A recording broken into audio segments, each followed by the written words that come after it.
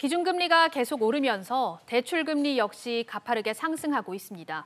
보험사도 예외는 아닌데요. 올 들어 5%대를 기록하던 보험사의 주택담보대출 금리가 이제는 6%마저 훌쩍 넘어섰습니다. 이한승 기자. 네, 이한승입니다.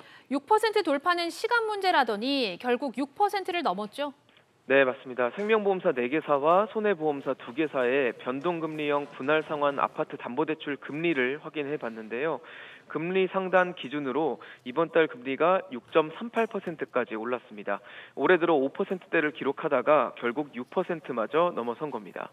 시중은행 주담대 변동금리는 아직 6%대에 미치지 못하고 있어서 보험사 대출금리가 은행금리를 크게 웃도는 상황이 연출되고 있습니다.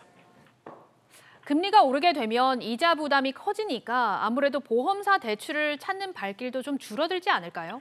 꼭 그렇게 보기는 좀 어렵습니다. 이유는 바로 연소득 대비 모든 대출의 원리금을 따지는 총부채 원리금 상환 비율 DSR 때문인데요. 은행 DSR이 40%인 반면에 보험사는 50%로 더 높아서 대출 한도가 더 나올 수 있기 때문입니다. 특히 오는 7월부터는 DSR 규제가 적용되는 차주의 총 대출의 기준이 2억 원에서 1억 원으로 엄격해진다는 점도 이유로 꼽힙니다. 대출받을 수 있는 한도의 제약이 강해지기 때문에 대출을 조금이라도 더 받을 수 있는 보험사로 수요가 수요가 쏠릴 수 있다는 겁니다.